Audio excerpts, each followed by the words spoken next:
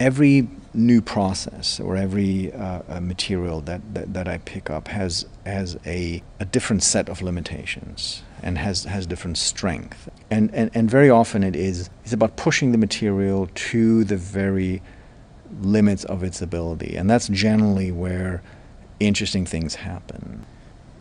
The show is, is broken down into two parts. The work is installed in a fairly straightforward fashion on uh, white walls, uh, labels, the usual sort of museum presentation. And in about a month, I will go in, essentially invert the space.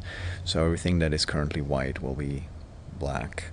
Um, I will then spend about 48 hours in the space using chalk and various tools to draw, literally draw connections between some of the pieces uh, on display, um, play up some of the conventions of the institution, some of the um, things like uh, security cameras and um, presence of outlets and so on will will be highlighted. Then after those 48 hours, the show will be open in its in, inverted version for another few months.